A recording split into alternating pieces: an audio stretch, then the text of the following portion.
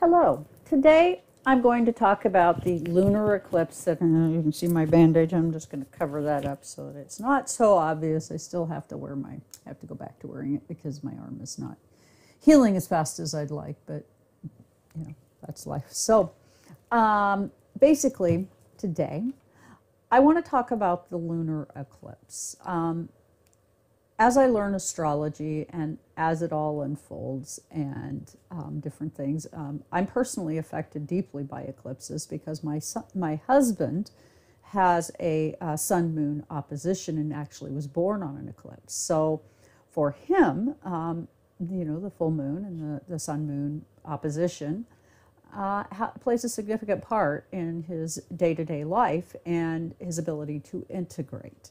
And I suspect uh, that there are many of us. Uh, anytime you have an opposition in your chart, there is going to be um, there's going to be a l- little bit more energy. But when you have a, a, a, when you're born on an eclipse, and it, and I'm and I'm not trying to refer to my husband as any in any way as Trump, uh, because you know, but but Trump was also born uh, during a uh, an eclipse, and um, he also has in his natal chart the Sun Moon opposition. And this uh, this eclipse, this uh, lunar eclipse now that's getting ready to happen, and I've and this is the the chart for it. Of course, I've already done a penumbral eclipse, and this time I'm going to talk about it as the lunar eclipse, um, because um, this is a, a lunar eclipse um, that's happening in um, Gemini, and uh, basically um, where we're at is that um, our information is changing as we speak, and it's also uh, it's also um, energy of of moving forward, moving on, moving to something new, and um, and then we have a configuration that only takes place uh, once every 800 years in this in this process. So. Um, with that, I am going to uh, go ahead and put my laptop down. I am going to draw uh, 12 cards, um, and if so inspired, I will draw a um, a uh, 13th card. Um, you know, I don't know. Sometimes spirit just inspires me to draw an additional card to kind of sum it all up, and sometimes I don't have that inspiration. So we'll see where we go here. Okay, so what we're asking about this to me, the, the, the, statement that keeps coming up in my mind is pack your bags, you're moving. And of course, you know, I know that with my husband in a full moon, it's a time of examining, uh, uh, looking at areas that are tender and important to him. Um, and recalibrating. So, and eclipses are, are again in an order of magnitude going to bring that up even more so. So, you know, people who are born with this eclipse full moon uh, energy, you know, it does, it is a special slice of the uh, astrological pie. Um, so with that, we're going to go ahead and take the cards and I will, again, like I said, I'll be drawing 12 and perhaps one extra. Two, three, four, five, six, seven, eight, nine, ten, eleven, and twelve.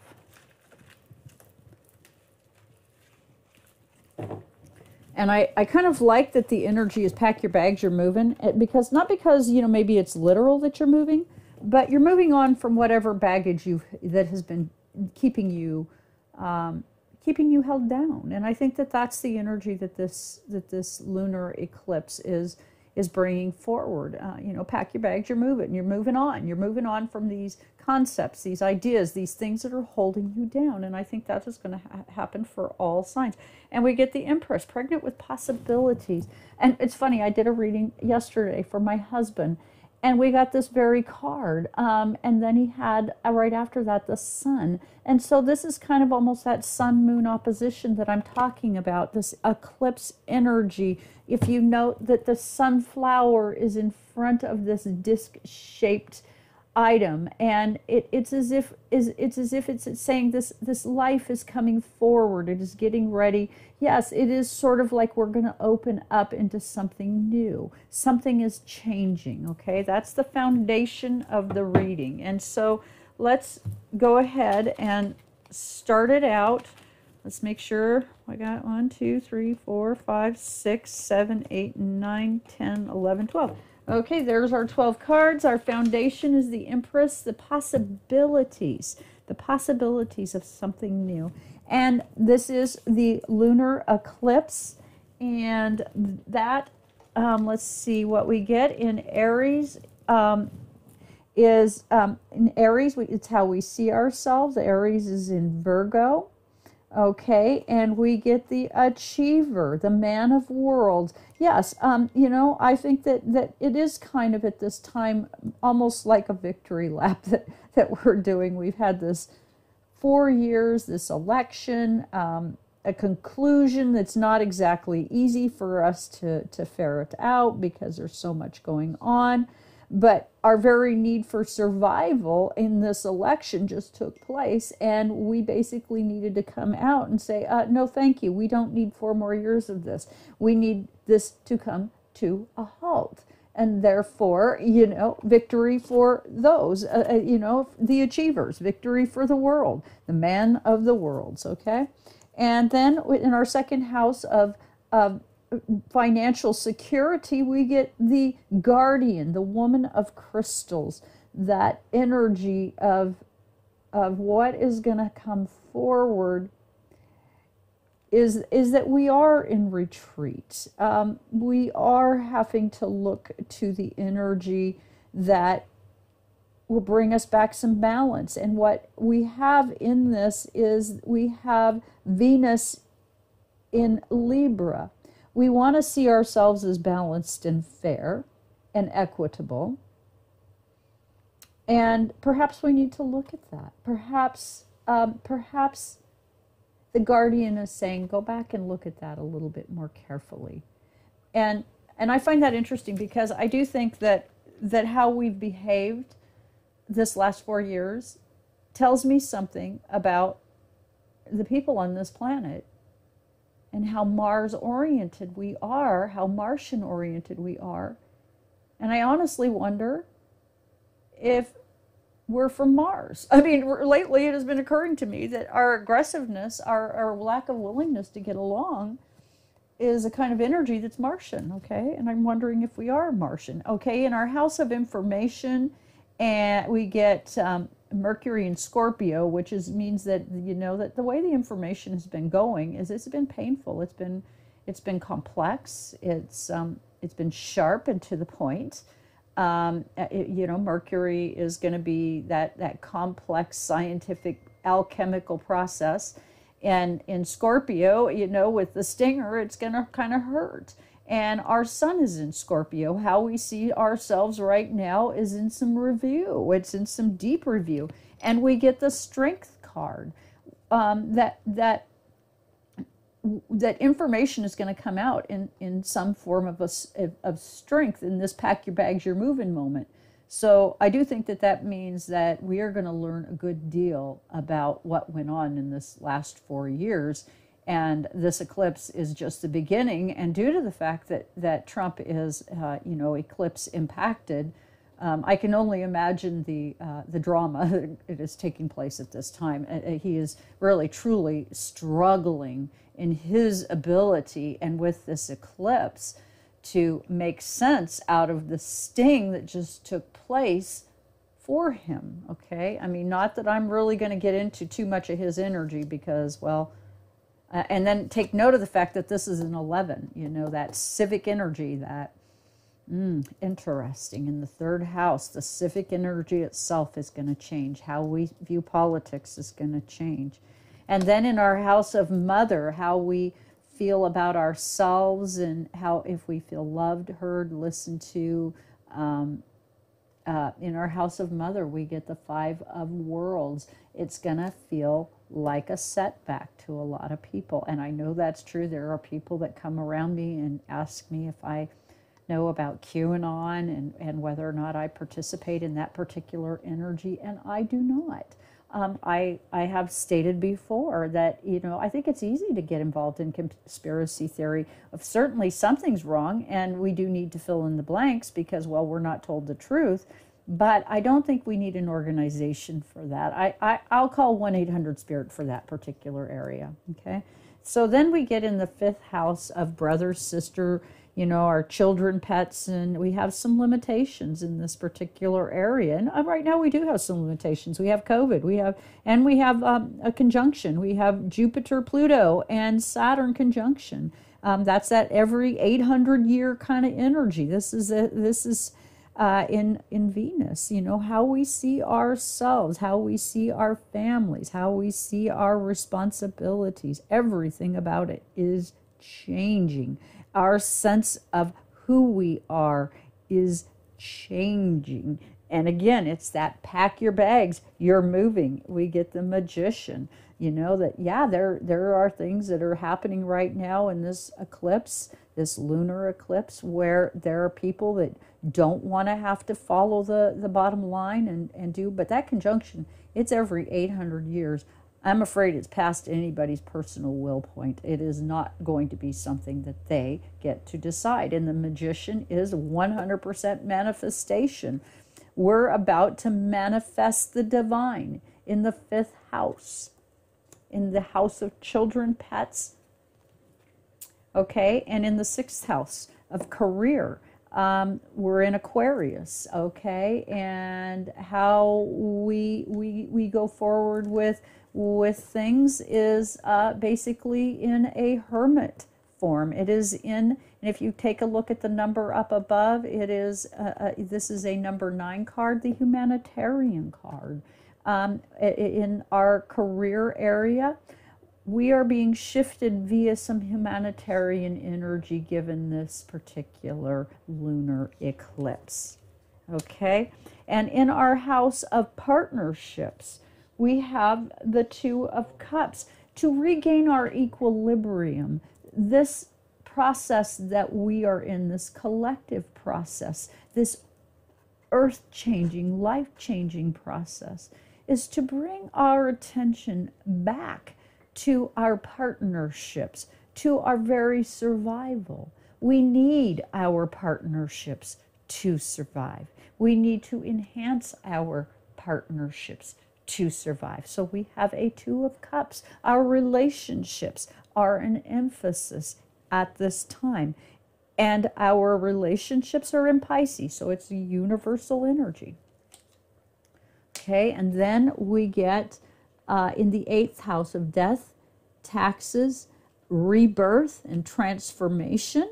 We have uh, we have Mars in um, in Pisces, which yes, we have a lot of people dying, um, and and it is some really hefty and uncomfortable energy, and we have Uranus in Aries, kind of that that unexpected, uh, sudden and unexpected surprise. Well, in being in Aries, it's it, you know it kind of Mars kind of drowns it out, so it really doesn't provide us just a whole lot of information, except for that in the House of Death we're going to see uh, you know a good number of people, in which we kind of all know that. So that's consistent with what's happening. So we get the Man of Crystals in the eighth house the house of death, birth, and reta- uh, rebirth and taxes, we get the inventor. Well, you know, I know that I'm the man of crystals. I'm all about, you know, the study of the veil um, because I have a second house Saturn where my limitations were in my were were um,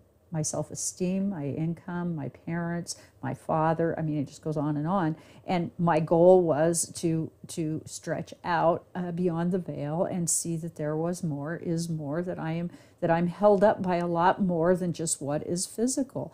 And in that sense, for me, it was a lifelong lesson in this and in this particular eclipse. I must admit that that I find myself, just as I provide you this information, I'm also providing myself this information and doing my work.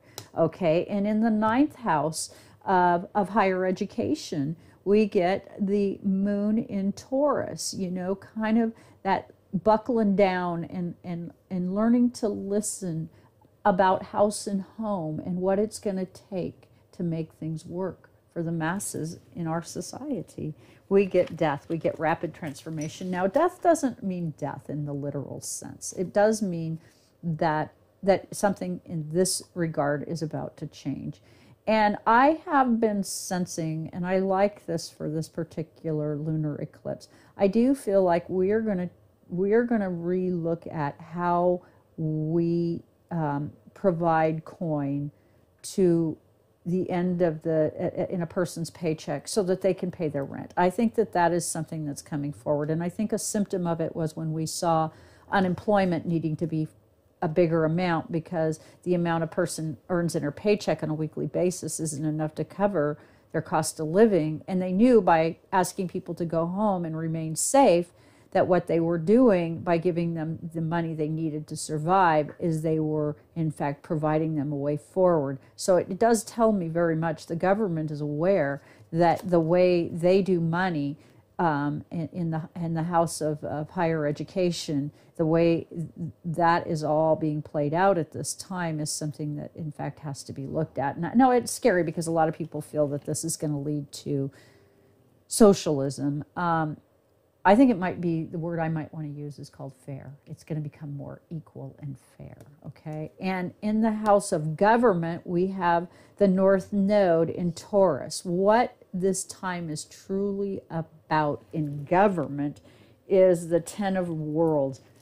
Um, it's reward for them. Um, they're functioning almost as a, a corporation, a business, um, and and it's 29 degrees the north node and which means that it has some emphasis in being higher end. So this time was fated to be exactly what it is today. So you know and it's in gemini uh, the north node or excuse me in taurus and the outer house is uh, gemini. So uh, there's going to be some information in that sense coming forward about the government um, and the purpose of government in our lives and how it how and this lunar eclipse is here to show us maybe not so much folks maybe this government process you're in needs a relook. And i think it does. I think that might be true.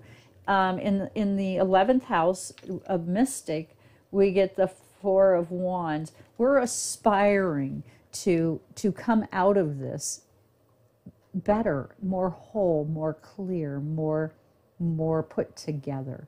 Um, and that is in cancer where cancer is how we feel. It's kind of a black hole of feelings. Things go in you process you hang on to you commiserate you think about. That is going to be that cancerian energy and that's in the 11th house of the mystic. And then you get the 12th house uh, it, it's in leo the unseen the collective love uh, in Leo, the I am in the 12th house. You have the Five of Cups, the number of the, the divine. Um, you know that for for many of us, it is going to be disappointment.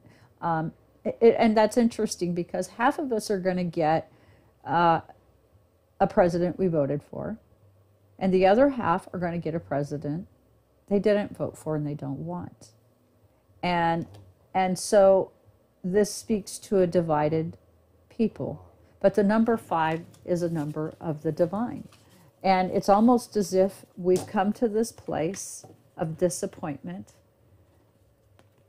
and need to discuss some new possibilities. The Empress, pregnant with possibilities, so that we can change our relationships with each other. This lunar eclipse is here to remind us of what really matters at the end of the day. And with that, please do hit the like, share, and subscribe button. And do please join me on www.twiggy.com.